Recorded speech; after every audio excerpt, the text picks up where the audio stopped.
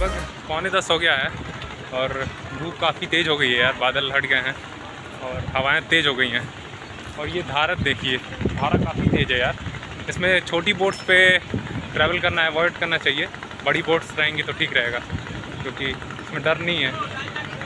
छोटी बोट में काफ़ी डर होता है और अकेले तो मैं बिल्कुल भी चढ़ने वाला नहीं हूँ बोट पे।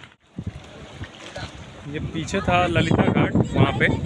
और अभी मैं चल रहा हूँ अंदर ही अंदर, घाट से घाट से घाट को क्रॉस करते हुए जा रहा हूँ दशाश्वमेध घाट और उसको एक्सप्लोर करेंगे दशाश्वमेध घाट को और फिर इसके बाद आगे बढ़ेंगे। अब बनारस में चौरासी घाट हैं एटी फोर तो इन सबको एक टाइम पे कवर करना पॉसिबल नहीं है। तो इसलिए जो मेन अट्रैक्शंस जो मेन घाट्स हैं, उनको कवर कर रहा हूँ। लाइक अस्सी घाट दस दशाश्वमेध घाट और वहाँ काशी विश्वनाथ के पास जो थी वो ललिता घाट।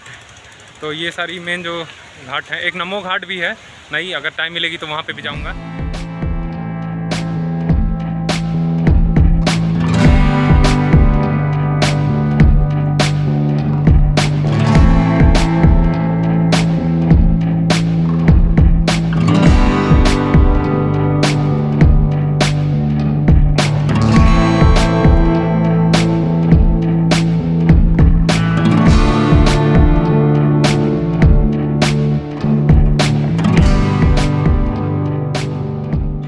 अभी दस अश्वमेध घाट पे जो कि मणिकर्णिका घाट से थोड़ी सी दूर पे है।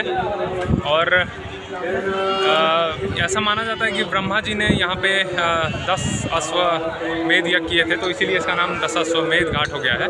और 1775 में अहिल्या भाई होलकर ने इसका फिर से रेजुनेशन करवाया और इसको पूरा मतलब ये जो नया आप देख रहे हैं, ये उसी टाइम का है। अहिल्या बाई ने ही करवाया था। और one of the busiest ghats में से एक है ये। और देख रहे होंगे, चारों तरफ़ गंगा में डुबकी लगा रहे हैं और बोटिंग भी कर रहे हैं उधर। और पुलिस वाटर बूथ है। तो वहाँ से अनाउंसमेंट कंटिन्यूस हो रही है कि पानी बढ़ा हुआ है। तो कॉशियस रहना पड़ेगा यहाँ पे, अगर आप आ रहे हैं। सेवनटीन सेवेंटी फाइव में अहिल्या बाई होलकर ने इसको रिज्यूनेट करवाया था इस घाट को भी। तो तब से ही है ये।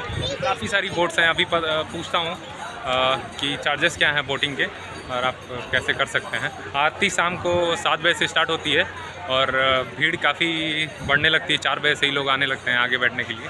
तो अगर आपको आरती देखना है तो आप आ सकते हैं शाम को, और मॉर्निंग में भी होती है।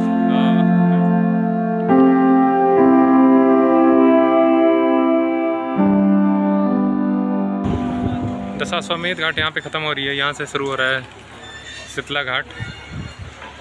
एक के बाद एक इंटरकनेक्टेड घाट्स हैं तो यहाँ दशाश्वमेध घाट बंद यहाँ इस घाट से बोटिंग बंद है और उधर घाट से चल रही है, पता नहीं क्या रूल है, समझ में नहीं आ रहा। है